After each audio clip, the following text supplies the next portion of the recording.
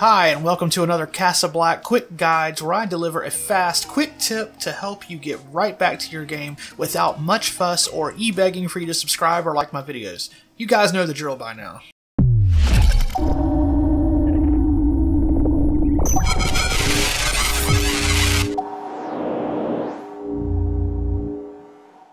In today's guide, I want to share how I began my desert journey so I could start collecting more higher tiered items such as complete wood and complete stone, the kaolin clay, brimstone, and new plants.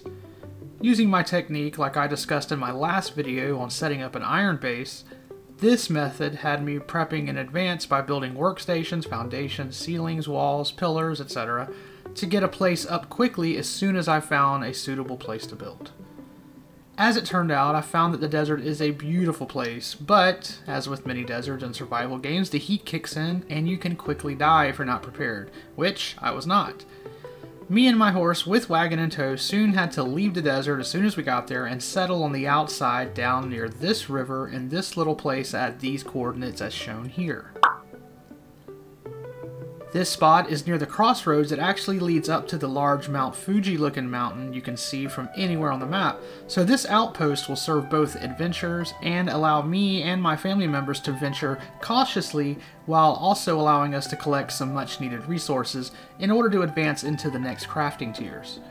Without even having to go into the desert, I was able to find complete wood, complete stone, and also by riding along the road south of the desert, we were able to find small brimstone deposits where the only danger is high level bears and wolves, which of course can easily take down you or your horse, but they're also easy to outrun. So if you're with a friend, just have them run the animals away while you collect the brimstone, or just keep looking when you do not have any animals on you. We were able to do the same thing throughout the actual desert by riding up the road north through the desert and finding the kaolin clay deposits just off the road, and then we could head back if our heat level got too high. All of this was well within riding distance of our little outpost, making gathering these much needed resources easy and making room for our next ventures further into these deadly zones once we're ready to build something permanent. Overall, I think this little outpost will prove to be crucial in allowing us to move up within the game to further dominate the wildlife and NPC outpost, and thus be able to fully sustain our continued game growth. So, what say you guys? Did you have an easier time of working your way into the desert? Did you find a sweet spot that works better than our little crossroads area? The last thing I want to say about this little location is that it has been lacking any predators, which has been an added bonus in survivability, something you might want to think about.